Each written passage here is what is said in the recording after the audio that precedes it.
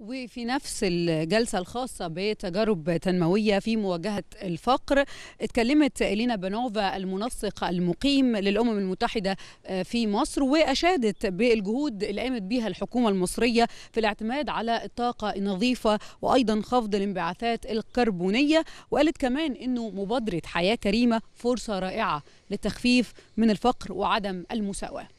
ذلك يقع في القلب من الحق في التنمية الذي ذكرته مصر وركزت عليه. فيما يتعلق بهذا الهدف فإنه فإنه أحد الوعود التي قطعتها جدول قطعها جدول أعمال أهداف التنمية المستدامة وهو يعكس التزام الدول الأعضاء بإنهاء الفقر. إن النهج العملية لتحقيق هذا الهدف. تتعلق بالتركيز على توطين أهداف التنمية المستدامة.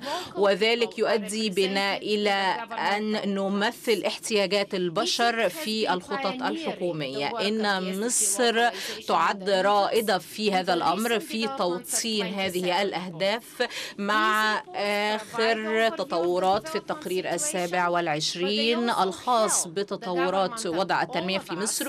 ولكنه أيضا يقدم دليلا للحكومة ولنا من أجل البناء على البيانات بشكل استراتيجي من أجل مزيد من التدخلات ذات الأثر العميق.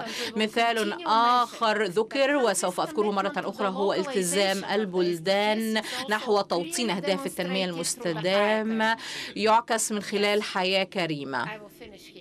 سوف أنهي كلمتي هنا.